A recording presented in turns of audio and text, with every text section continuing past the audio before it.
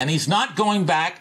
Uh, that's, uh, you know, that's crazy nonsense when people start saying, I ask God to forgive me. I'm always asking God to forgive me. He's already forgive you. If you asked him for forgiveness, what you're saying to God is the first sacrifice wasn't enough and that you really need to come down and do it again because something has to be killed for me to be forgiven again. No, it's a perpetual thing, once and for all. He'll never, Christ will never come back into the flesh mm-hmm. under the judgment like he did, mm-hmm. under uh, the law again. He's always, he's in everlasting life now. He's in, he's in the Father's hands. He's in a spirit realm. And it's so are we by faith. Can you just believe that?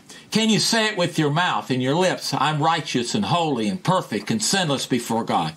Can you say that? Amen. If you can't, then you're still on milk and you don't understand the righteousness of God.